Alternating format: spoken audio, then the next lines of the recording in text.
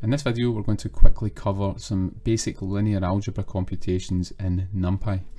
NumPy is obviously a very good array computing library in Python and it offers a linear algebra module and other tools to compute operations on matrices such as calculating the inverse, calculating the determinant and calculating eigenvectors and values.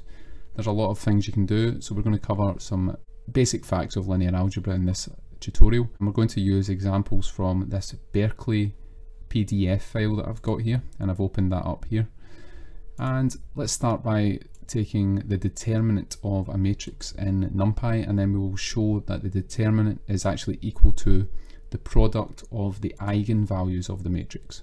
Now we're not going to cover what these mean in a deep mathematical sense, but we are going to show you how to compute them in NumPy. So let's go back to the notebook and we're going to define an array and I'm going to paste this in here. Got that prepared. And if we print off the array, we'll see that we have a 2 by 2 matrix, uh, two rows, two columns, and we're going to now take the determinant of that matrix in NumPy. You can do this with the linalg module and it's a function called det and we just pass the array in to that function. And we see that the determinant of this matrix is 10 um, there's a small about amount of round off error here but it's basically 10 um, so that accords with the formula that you might know from maths. For a 2 by 2 matrix the determinant is the diagonals multiplied together. So AD that's 22 minus BC minus 12 so 22 minus 12 is 10, so that gives us the correct determinant here. And what we can do is we can prove this statement here, for this array at least, that the determinant is equal to the product of the eigenvalues of the matrix. So we've got a determinant equal to 10. Let's now compute the eigenvalues and the eigenvectors, and we can do that with another function in the linalg module, and that's the eig function. Again, we just pass the, the numpy array in, and if we look at the eigenvalues we get back and we get two eigenvalues back here 0 0.8 12.1 so if we multiply those eigenvalues together we should see that they equal 10 and that proves that the determinant is equal to the product of the eigenvalues for this array. So let's try that just now. We can use the numpy.product function to uh, compute the product of all the eigenvalues in that vector and we get 10 so that matches up with the determinant so for this given array we've proven that the determinant is equal to the product of the eigenvalues and now we'll move on to the trace. The trace is equal to the sum of the eigenvalues. So let's see how to compute that in NumPy. We're going to show a few functions here, um, so we'll have a new cell for this. NumPy has a trace function built in and that allows you to compute the trace of a numpy array. So if we pass in the array here, we should get that the trace is 13 because that's 2 plus 11. Um, and what we can do is we can also, I'll show the diag method as well. So numpy.diag, we pass the array in there, that will give you back the diagonals of that matrix, which is 2 and 11. And then if you wanted to compute the trace manually, you would sum those up and that gives you 13. So that's quite easy to do with a 2 by 2 matrix, but you can imagine that you might have a matrix that's much larger. So to compute the trace, you've got a handy function here. So let's now prove what this says here, that the trace is also the sum of the eigenvalues. So the trace is 13, which we've verified with this statement here. We, all, we have the eigenvalues here, and if we sum them up together, np.sum, we should see that that's also 13. So we've proven that for this array, the sum of the eigenvalues is equal to the trace of the matrix. And we can also prove that the array transpose will have the same trace as the array itself. So if I look at the array.t property, we get the transpose of the matrix.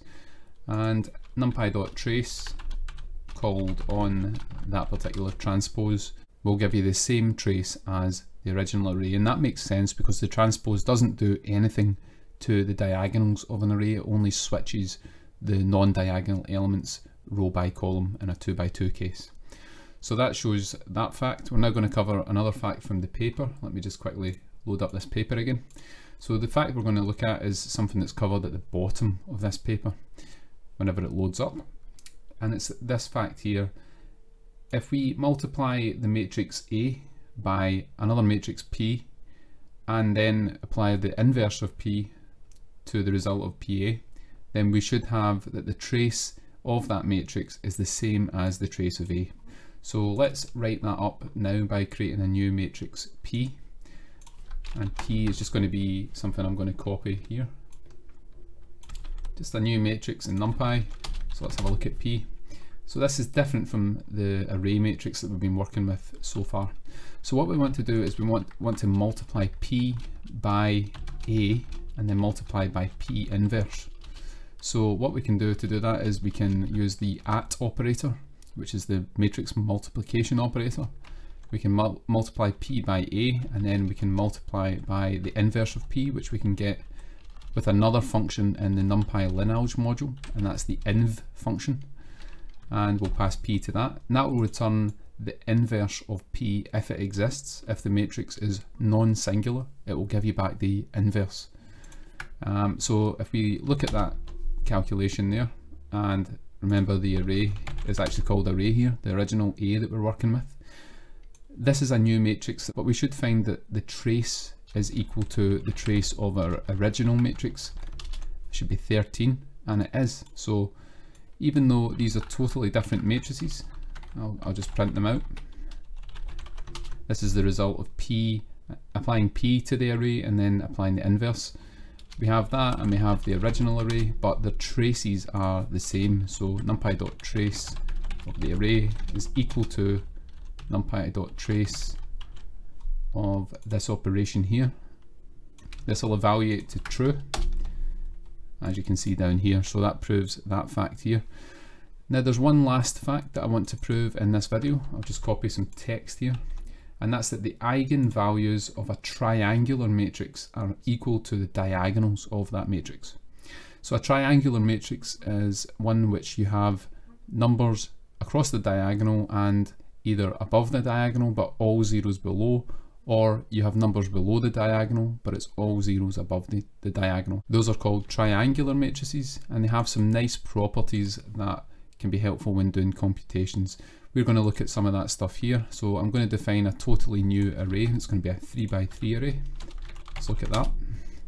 So just random values in here, it's 3 by 3. So what we can do is we can make an upper triangular matrix from this original matrix A.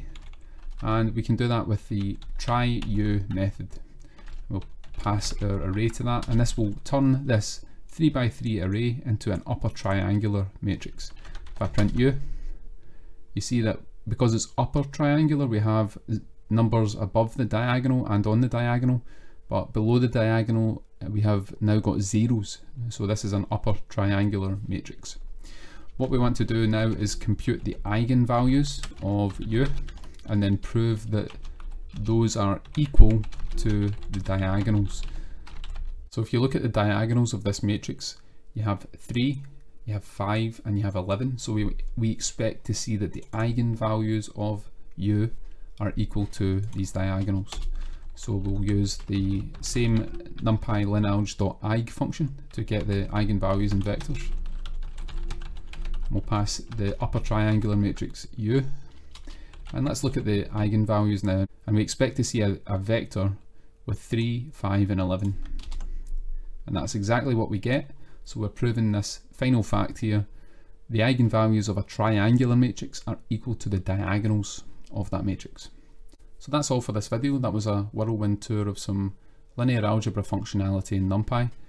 A lot of this stuff is built in and there's a lot more you can do with it. And this is the basis, some of these operations are the basis for advanced machine learning and analysis. So that's a short introduction. There's much more you can learn out there. Thank you very much for watching. There will be a Jupyter notebook on GitHub with a little bit more details. Please see the description for that. And thanks for watching and we'll see you in the next video.